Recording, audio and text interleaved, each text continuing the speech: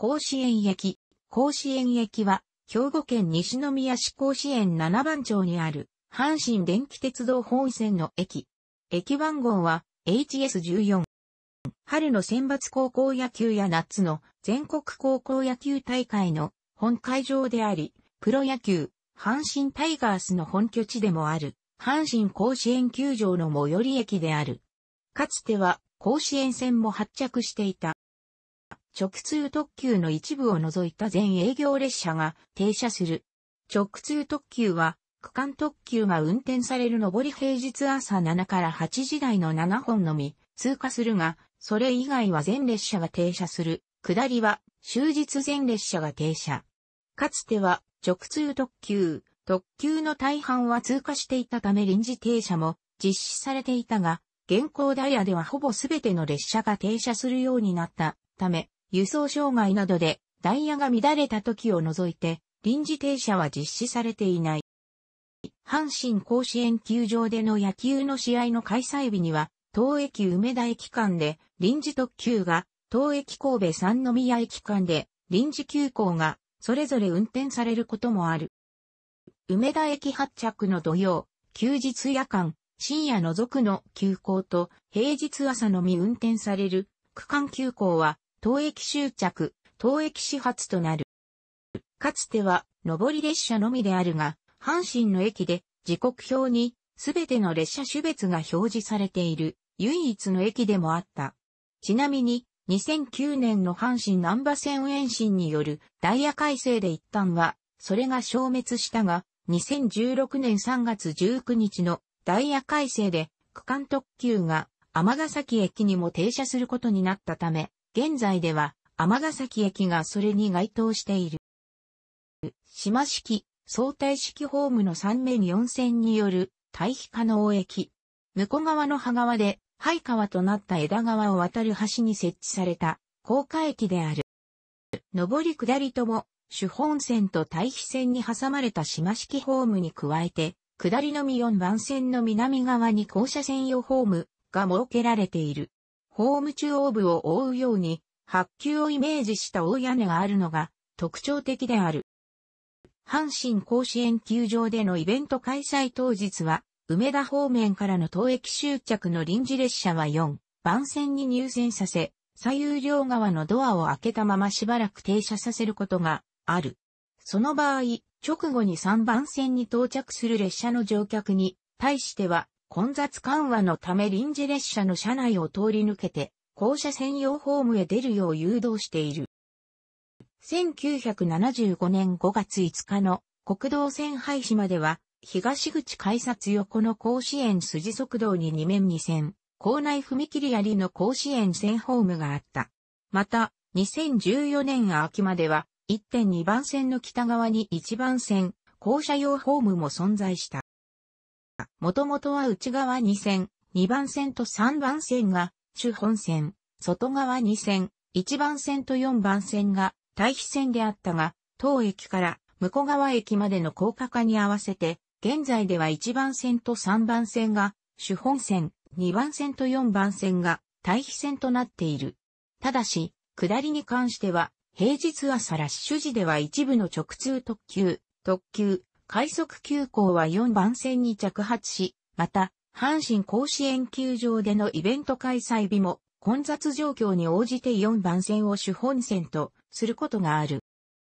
なお、かつてはホーム幅が狭かったこともあり、安全のため通過列車には時速 65km の速度制限をかけている。野球開催日など、阪神甲子園球場でのイベント当日は、駅構内が一時的に混雑する。特に、イベント終了直後で、ホームに乗客が溢れて、危険と判断された時は、駅構内への入場が一時的に制限、改札制限されることがある。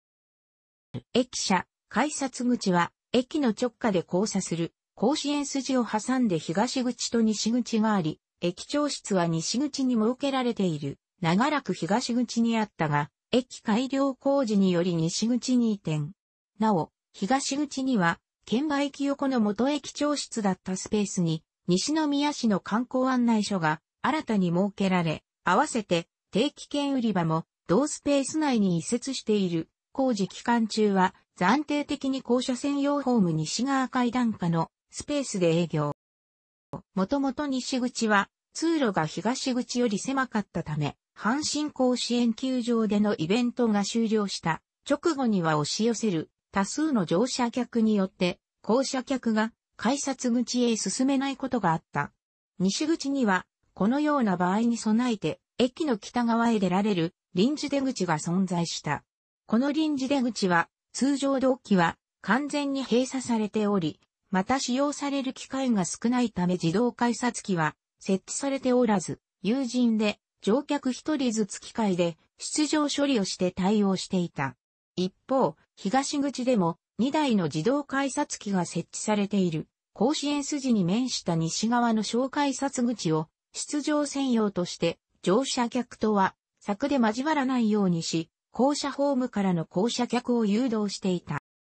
ホーム有効庁は阪神南波線延伸開業に合わせて神戸側を数メートル延長して約130メートルとなったため、従来からの19メートル級の阪神車両、山陽車両6両編成に加え、21メートル級の近鉄車両6両編成も停車可能となった。現在は駅改良工事により上下線とも、島式ホームの内内側の2.3番線のみ、神戸側に延長し170メートル程度となったため、近鉄車両8両編成も停車可能となった。ただ、現状では8両編成の運用は予定にないため延伸部分には屋根や壁を設けておらず、安全面から立ち入り禁止としている。当駅は駅改良工事が完了するまでは、ホームの狭さと阪神甲子園球場の観客輸送という特殊な事情のため、乗車位置を示す表示や表記に関しては、他の駅とは異なる経緯があった。阪神、淡路大震災前までは他の駅と同様、対面するホーム下に乗車目標を示したプレートが貼り付けられていた。しかし、狭いホームで特定の位置に乗客が集中すると危険なため、という理由で、震災後しばらくして、そのプレートは撤去された。その後、区間特急に女性専用車両を設定したのに合わせて、区間特急が着発する上りホームの一番線側には、誤乗防止のため女性専用車両の乗車位置の足元にのみ、女性専用車両であることを示す乗車目標シールが乗付された。後に2番線にも区間特急が着発するようになったため2番線側にも同様のシールが調布されたが、後述する駅改良工事に伴い区間特急はすべて1番線に着発することとなったため、乗車目標を移動させた際に2番線側のものは撤去された。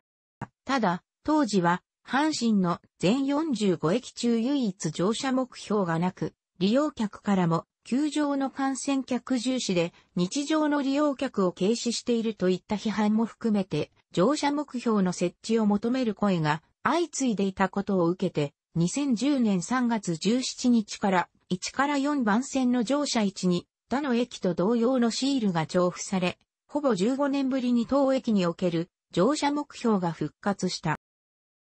なお、かつて当駅で使用されていた反転フラップ式発車案内板には乗車目標まで記載するスペースがなかったため省略されており、代わりに乗車目標の設置と合わせて駅構内の発車時刻表に乗車目標の表示を追加して対応した。またこれと同時に駅で配布しているポケット時刻表にも同様の表記を追加して対応した。その後は口述の通り、乗車位置も表記した新型のフルカラー LED 式の発車案内板に置き換えたことで、2012年3月20日のダイヤ改正後は、ポケット時刻表も含めて発車時刻表には記号の付記はしなくなった。島式2面のホームは終日使用されるが、校舎専用ホームは基本的に阪神甲子園球場でのイベント開催日のみ使用されている。イベント開催日には、下りは特に混雑時には、列車退避がなくても外側線の4番線に入線させ、両側のドアを開けて、折り校舎専用ホームを使用して、極力乗降を分離させている。また、ホームドアが設置されていないため、退避列車や留置列車を早めに2.3番線に入線させて、ホームドアの代わりとして乗客が線路へ転落しないよう配慮している。廃止された北側の上り校舎専用ホームは東口にのみつながっていた。通路は改札口の手前まで乗車用の通路とは別になっていたが、この部分はかつての甲子園線浜甲子園方面行きホームの後を通路化したものであり、校舎専用ホーム廃止後は駅改良工事により大阪方面行きホームへの通路に転用されている。一方、南側の下り校舎専用ホームは駅改良工事前から東口、西口ともに通じる通路があったが、西口は臨時出口のみにつながっていた。駅改良工事で南側に移設された現在の下り校舎専用ホームには臨時出口の他に視改札口に出られるエレベーターと階段が設けられている。下り校舎専用ホームを使用しない通常時は臨時出口のシャッターが下ろされ、またホームに立ち入らないよう東口、西口ともに改札口横の1階部分の階段にチェーンをかけている。阪神甲子園球場でのイベント当日は、数人の駅員が下り校舎ホームにも立ち、球場へ向かう乗客に対し、臨時出口を利用する、よう案内、誘導している。なお、2017年からプロ野球シーズン中のみ、臨時出口の自動改札機にタイガースのホーム用ユニフォームを模した白地に縦縞模様のラッピングを施している。駅改良工事中においては、従来のホームを解体、撤去し、阪神甲子園球場での大規模イベントがほとんどない11月から3月中旬にかけて集中的に工事した上でその期間は利用停止とし、イベントが集中する3月下旬から10月にかけては仮設の板張りホームを作って対応していた。上り校舎専用ホームは2014年11月に東口へつながる階段、通路が撤去された後ホームも撤去され、その跡地に一番線の線路が敷かれた上で、2015年2月21日より1.2番線ホームが北側へ拡張された。また、旧来の下り校舎専用ホームも撤去され新たに4番線の線路が敷かれており、翌3月14日より3.4番線ホームも拡張され、合わせて現在の南側に建設中の新たな校舎専用ホームが新下り校舎専用ホームとして3月21日より運用開始。写真左に写っている大きな木は下り校舎版ホームのすぐ脇に生えているクスの木である。この木の生えている場所は駅のコンクリート構造物が少し凹んでおり、木を避けるように作られている。駅西方、神戸川には上下本線の間に引き上げ線が一本あり、梅田方面からの折り返し列車が使用する。早朝に天ヶ崎車庫から出庫し向川線に入る2両編成も、一旦向川駅を通過して、当駅まで改装し、この引き上げ線を使用して折り返し、向川線に入線する。このため、当駅の引き上げ線の線路上には急行系車両の停車位置である6、普通用ジェットカーの停車位置である4の他に、向川線重等車両用の2と表記された停止位置目標が線路上に設置されている。なお、この引き上げ線は当初近鉄車6両編成には非対応であったが2014年に延伸工事が行われ、新たに金6も設置され、同年より、近鉄22600系が団体臨時列車で入線した際に、初めて近鉄車両がこの引き上げ線に入線した。この引き上線は1984年3月に、旧樹川駅手前まで高架化された際に設置されたものであり、これ以前は本線上で折り返していた。東改札口の横に甲子園線の河川柱が廃線後も残っていたが、駅改良工事により2015年3月に撤去された。かつては、駅の北側に、甲子園線との連絡線、元は、旧枝川の川床への引っ込め線があった。旧上り校舎専用ホームの下には、この連絡線の橋を支えていた橋台が残されており、駅の北側から観察することができたが、駅改良工事により撤去された。上り下りとも校舎専用ホームには、阪神本線内では珍しくなった自立式の駅名標がかつて設置されていたが、現在の下り校舎専用ホームには設置されておらず、代わりに大屋根を支える太い支柱に駅名標と出口方向の案内サインを模したシールが貼られている。ただ、後に島式ホームの中央には時刻表と駅構内図も記載した自立式の駅名標を設置した。また、下り3.4番線ホームは2017年2月から、上り1.2番線ホームは同年8月から足元に設置した発行式列車案内表示器、神戸三宮駅に設置されているものと同型の運用を開始した。阪神南波線延伸に合わせて発車案内板が新型のフルカラー発光 LED 式に更新された駅もある中で当駅の反転フラップ式は継続して使用され、続けたことから、結果的に、阪神の駅の中で反転フラップ式が残された最後の駅ともなった。阪神南波線延伸区間の開業後は、快速急行ならとその停車駅の表示を新たに追加して対応していた。ただ、1.2番線は2012年3月14日、始発より、3.4番線は翌15日始発より、それぞれフルカラー LED 式に変更され、改札口にあったものも後に西口、東口の順にフルカラー LED 式に変更されたため現存しない。東口、西口ともに南側にしか出口がなく通路が、地区邸内にある構造のため、階段が片側にしかない東口通い時は通気性が悪く、夏場などは蒸し暑い空気がこもることが多かったことから、風が通るように通風口が設置された。公衆無線 LAN スポットが2012年3月に設置された。利用できるのは KDDI、au のスマートフォン向けサービス au、Wi-Fi スポットと提携しているワイヤーワイヤレスの Y2300 で2012年4月23日にはソフトバンク Wi-Fi スポットも利用できるようになった。阪神の駅では初の設置であり、それ以降は同社の各駅にも順次設置されている。また、合わせて阪神甲子園球場にも設置されている。2013年10月26日より西改札側にエレベーターを設置し、合わせてエスカレーターは移設するため一時的に閉鎖、撤去した。その後、2015年12月より西改札側にエスカレーター、島式ホームに1機ずつ。普段は上り専用だが夜間は下り専用となるが、2016年3月より東、改札側にもエレベーターがそれぞれ新たに設けられ稼働している。当駅のエレベーターのボタンはすべて発球をイメージした丸型のものが採用されている。当駅での列車到着時の接近メロディは他の駅と同じく線路は続くよどこまでもが使用されているが、例外的に全国高等学校野球選手権大会や選抜高等学校野球大会の開催期間中に限り接近メロディが以下の曲に変更されている。なお、通過列車の接近メロディは変更せず従来のものを使用。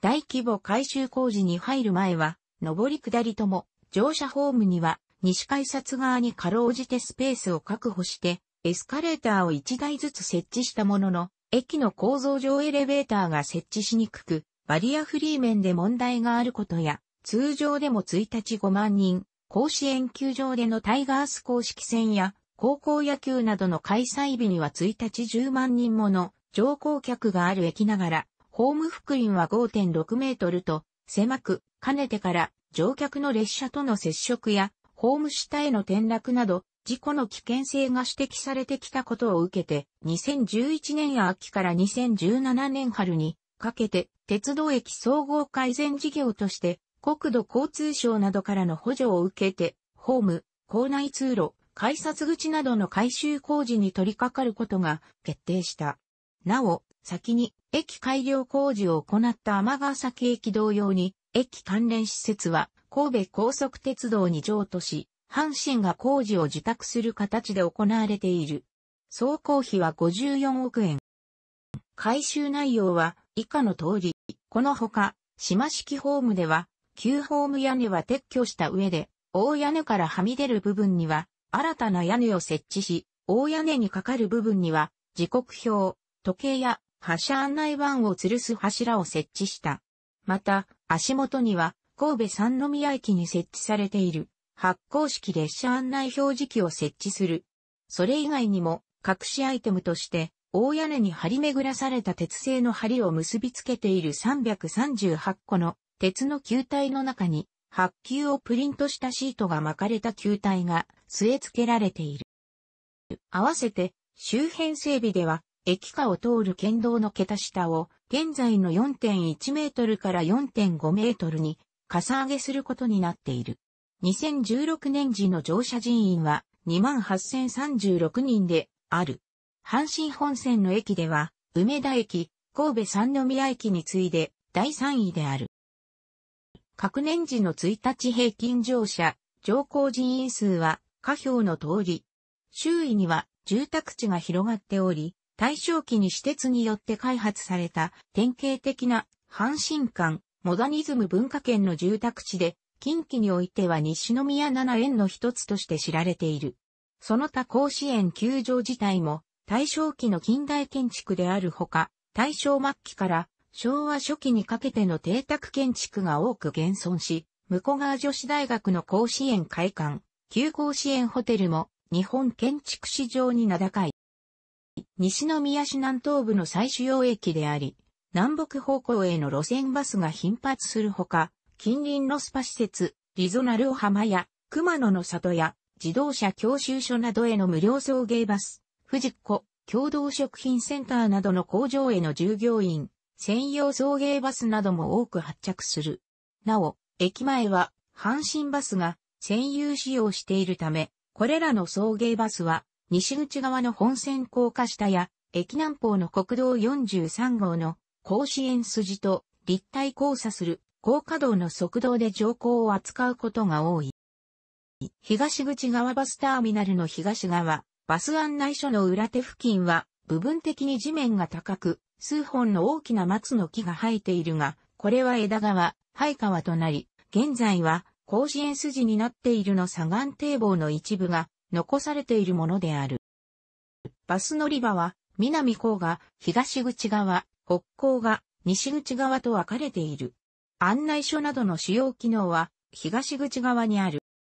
阪神バス、空港リムジンバス、阪神バス、阪神電鉄バスの大阪ローカル線、現在の阪神バスの野田甲子園線は、かつては東口側、現在の5番乗り場の位置から発車していた。甲子園筋の交通量が少なかった時代は、乗り場から直接 U ターンして北方へ向かい、交通量が多くなってからは、現在の降り場乗り場、6番7番11番、回送ルートと同じ、甲子園警察署前から国道43号線の高架下を回って北へ向かうコースを走っていた。後に乗り場が西口側の11番に移動し、現在の形態となっている。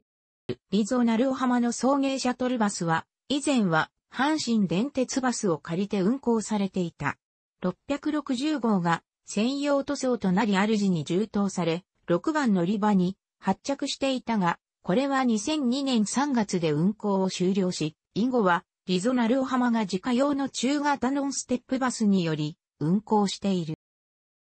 また、以前は夜行高速バス、トワイライト、神戸号、九州三高バス運行やアンカー号、京浜急行電鉄、阪神共同運行も発着していた。第1回近畿の駅100選に選定されている。楽しくご覧になりましたら、購読と良いです。クリックしてください。